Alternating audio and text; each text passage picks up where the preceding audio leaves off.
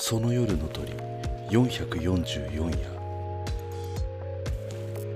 4が3つ並ぶ。最初で最後の夜。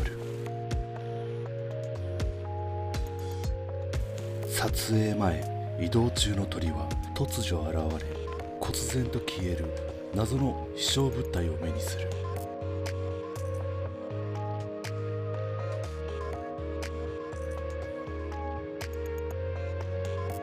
今回向かうのは銅像が100体鎮座する山頂のお堂。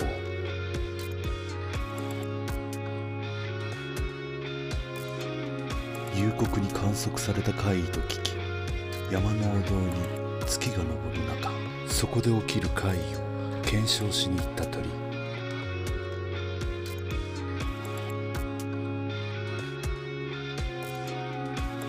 しかし鳥は煮え切らない顔をしていた。次回「その夜の鳥。444夜。UFO の夏参道100体の像」君はまだその夜の鳥を知らない。